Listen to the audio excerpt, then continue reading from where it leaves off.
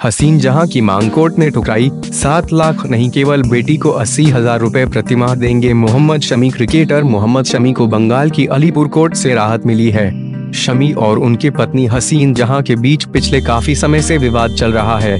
बंगाल की अलीपुर अदालत ने शमी को राहत देते हुए उनके खिलाफ पत्नी हसीन जहाँ की गुजारा भत्ते की मांग को खारिज कर दिया है। हसीन जहाँ ने शमी से सात लाख रुपए प्रति माह गुजारा भत्ते की मांग की थी, जिसे कोर्ट ने खारिज कर दिया है।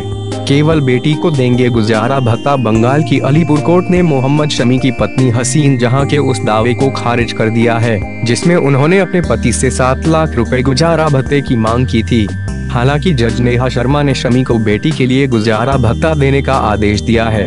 शमी को हर महीने बेटी के रखरखाव के लिए अस्सी हज़ार रूपए देने होंगे। कोर्ट ने खारिज की हसीन जहाँ की मांग शमी के वकील ने कहा कि शमी शुरुआत से ही बेटी के रखरखाव के लिए गुजारा भत्ता देने को तैयार है हालाँकि शमी ने अपनी पत्नी को गुजारा भत्ता देने से इनकार कर दिया क्योंकि उन्होंने मॉडलिंग और एक्टिंग करना शुरू कर दिया है शमी की तरफ़ से दी गई दलील पर हसीन के वकील ने कहा कि वो अपना करियर बनाने की कोशिश कर रही हैं। गुजारा भत्ते की मांग खारिज होने के बाद हसीन अब उच्च न्यायालय में जाने की योजना बना रही हैं। हसीन जहाँ ने पति से मांगे थे दस लाख। हसीन जहाँ ने मोहम्मद शमी पर मार्च में घरेलू हिंसा समेत कई इल्ज़ाम लगाए थे।